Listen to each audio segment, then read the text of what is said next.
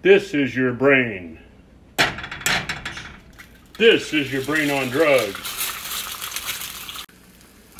Bacon!